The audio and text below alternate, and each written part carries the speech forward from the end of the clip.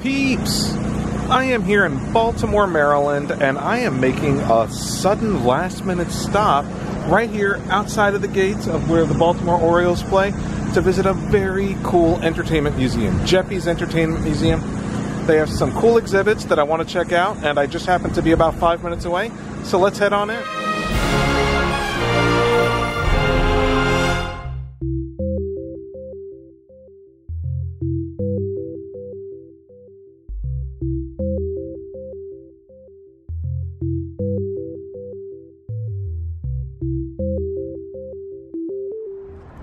Here's one of the reasons I came The Dark Knight Through the Decades, which features art by some of my favorite artists, including art by Jay Lee, who's the artist who did this poster. The exhibit says through October 1st. I'm hopeful that it's still going. Here's the information on Geppi's Entertainment Museum. Um, it is open 10 to 6, Tuesday through Sunday, closed Mondays, closed on some holidays. Admission 10 bucks for adults. Definitely worth it. I've been here before and I am excited to be here again it looks like later this month they're going to be featuring a Stranger Things Halloween Comic Fest on October 28th, 2017. For more information, here is the address and the website www.geppismuseum.com. Now, it is located on the second floor of this building, and even the stairwell has all sorts of cool stuff to look at. Superman bread. How cool is that? I love all the classic artwork and things that they show on the wall. Scrooge McDuck up there, one of my favorites. Shazam. All sorts of cool stuff. And right up there is the entrance. I keep stopping at stuff because it's all the stuff that I love, including Dick Tracy. Look who greets you as soon as you walk in. Boba Fett. And this is the lobby. Half price Thursday, $5 to tour the museum. Love it. So they give you a map when you walk in. Uh, start with the story in four colors. So you enter through here, and I think you're supposed to start here and just kind of work your way around the museum. But this is the main hallway with all this amazing artwork on the walls. Cool Superman that we'll get to here in a minute. Look at that Captain Midnight radio serial poster. Wow. Oh, and look who it is Batman. So, even though there's a heavy emphasis on comic books, this is really more of a pop culture museum. So, in addition to Superman, you're also going to get wonderful classic Disney artwork like this Bambi poster. And across from it, Rice Krispies. So, this is the first stop on the tour a story in four colors, early years of comic books. And as you can see, I do not believe these are originals. I believe these are reproductions of some classic comic books like Action Comics, All American Comics, the first appearance of Green Lantern, Detective Comics, Submariner, a couple of other great ones. Now, there's a mix of classic artwork. You got Popeye right there, as well as classic comic books in this first room.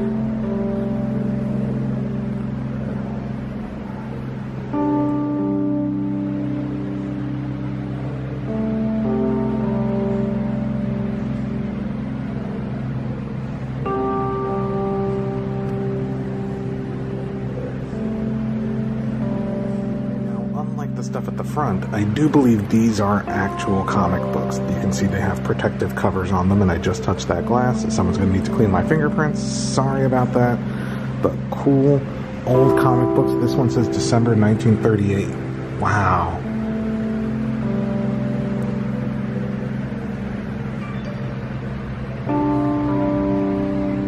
And how about this Batman Adventures? I have this comic, but it is not signed by writer Dan Slott, who currently writes for um, Amazing Spider Man for Marvel Comics. Over here, you've got Batman number one from the New 52, written by artist, or excuse me, writer, signed by writer Scott Snyder. Here's another reason I came here artist J.G. Jones, who's done work with Mark Waid on Strange Fruit as well as work on Before Watchmen and a ton of other stuff like Final Crisis from DC Comics. They have a bunch of his original art here. Look at this from The Comedian. If you watch, if you are familiar with Watchmen, written by Brian Azzarello, here's some original art by the artist J.G. Jones I don't know if this is real or not, but there's an Incredible Hulk number one here. That's awesome.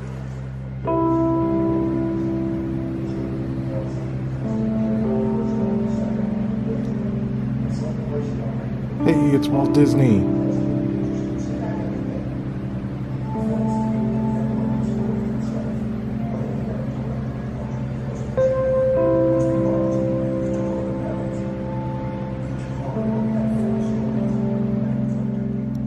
That poster for the movie Spawn is signed by Spawn creator Todd McFarlane.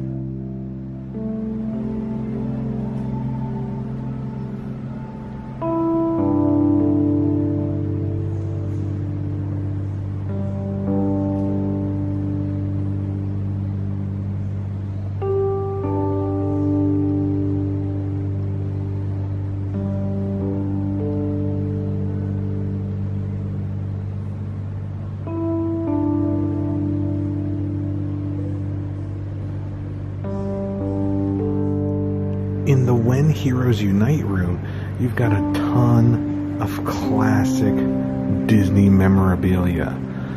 Original Walt Disney comics. You've got that Mickey Mouse book up there. Walt Disney's Pinocchio hankies. Look at that lamp. And this other cool stuff down here from Pinocchio. Classic Mickey Mouse down there pocket watch.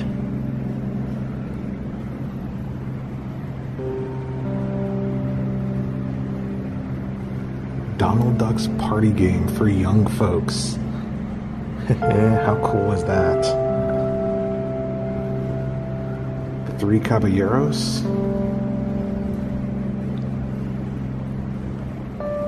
Some amazing stuff that you're not going to see anywhere else as a Superman fan, you guys know I love this display. Classic Superman statue. He looks kind of creepy with the dead eyes there. Um, but you've also got like candy and surprise, old Superman stuff. I don't even know what half of this stuff is, but it's awesome. Over in the middle, you've got some other classic Disney stuff that you may not have even known existed. Look at these Mickey Mouse sculptures here a tea set down here. Pop-up books. Or I guess an ad for a pop-up book. Big Little Books. a box for Mickey Mouse undies. And up here, you've got classic Seven Dwarfs.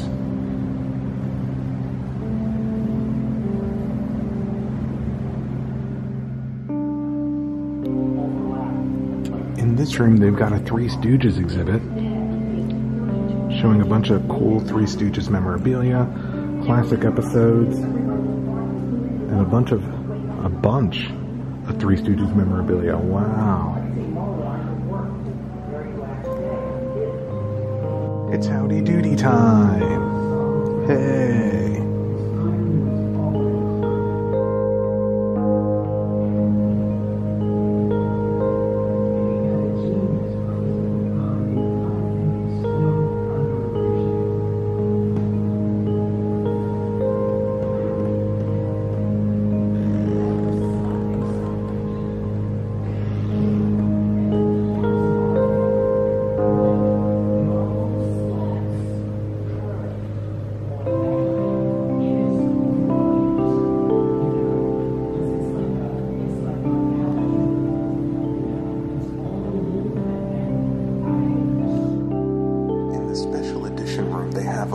Rotating exhibits, and right now they're featuring Batman, The Dark Knight Through the Ages, and wow, just wow, tons and tons of cool Batman stuff, different interpretations from throughout his lifetime. Signed stuff by Adam West here and Yvonne Craig, who played Batgirl.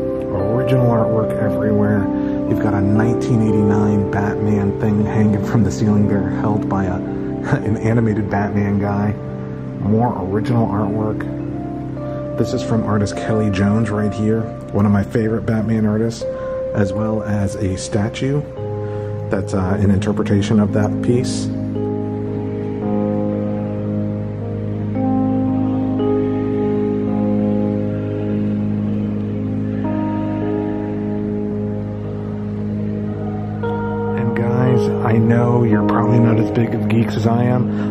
Playing the soundtrack to Batman Mask of the Phantasm in here. I am in heaven right now. Look, Alex Ross artwork, Darwyn Cooke. Up here you've got Rob Guillory, Amanda Conner. Ah, love all of it. A signed photo by Burt Ward. Some more Batgirl signed stuff back there. More Adam West autographs.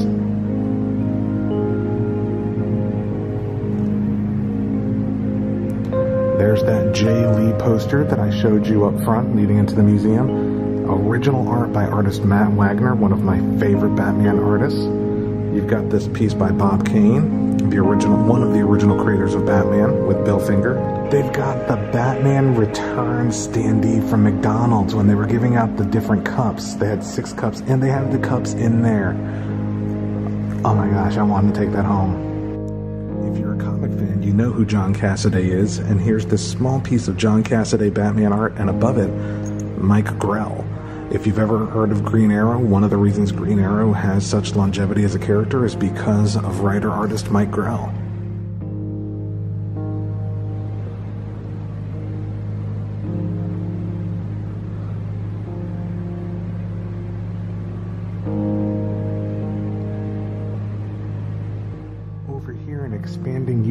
You're going to find a ton of sci fi things as well as classic Happy Meal stuff. Ronald McDonald, um, Advanced D&D. Ah, so cool.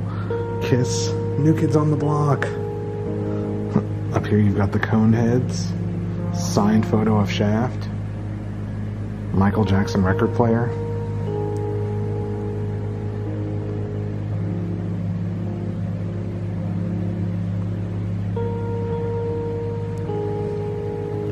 Some classic Star Wars stuff here. Star Wars van set with space age Star Wars graphics.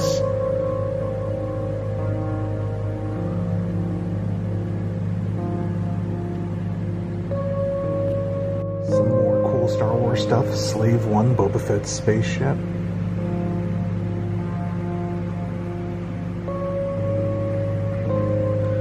Ewoks animated series toys and the Hoth base from Star Wars The Empire Strikes Back. If you grew up in the 80s or 90s, you're going to see so much stuff that you remember from your childhood. It is just a place that you can spend hours reminiscing and looking at all the cool things that you grew up with. Like Transformers, Dune, Freddy Krueger. Check this out. It's a certificate of authenticity for a prototype Boba Fett. Wow. Wow. And over here, you've got a graded, uh, carded Boba Fett action figure from Star Wars Droids. Those are pretty rare. Some more cool Star Wars stuff, which is actually here as an exhibit the Star Wars collection of, of Russell Branton. So these are privately owned in here for you to see. Some of the stuff is a little more classic, some of it's not as classic. That's not an old one, but it's cool looking nonetheless. Graded comic books 9.6. Just some really great stuff that you're not going to see in other places, or at least not frequently. I gotta tell you, there is far too little He Man in this room, but Still, you've got Buck Rogers, Master of the Universe, and strong women characters like Charlie's Angels. You've got Miss Piggy there, um, Star Trek up there, Supergirl. Just a cool display.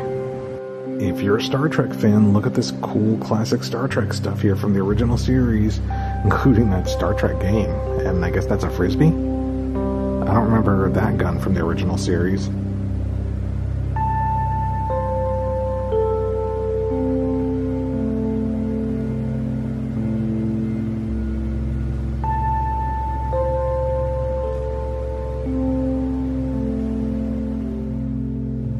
In addition to the special edition Batman uh, exhibit that's traveling, you also have the stuff that's here all the time. Some classic Batman Americana from the 1960s series. This awesome Batman statue here.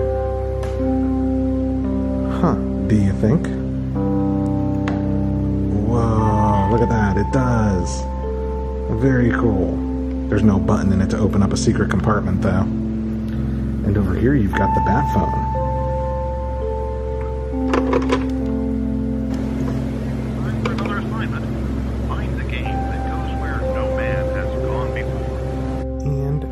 Exit the museum, it has one of the best gift shops in any museum ever. Comic books, statues, toys, tons of cool stuff. It's like there's more to look at. It's almost a museum in and of itself. In fact, this stuff is part of the exhibit. More modern stuff, 1990s to present. But amongst it, you'll also have stuff to buy. Cool stuff, like Guardians of the Galaxy Tiki mugs. Alright, folks, well, that does it for us here at Geppi's Entertainment Museum. Make sure to check them out. I'm going to put the link right here. Check them out, get the hours, definitely come visit. It is totally worth the cost of admission. Had a great time looking at all the cool stuff. And on the website, you'll be able to see what new exhibits are traveling through. Thank you guys for watching, and we will see you next time.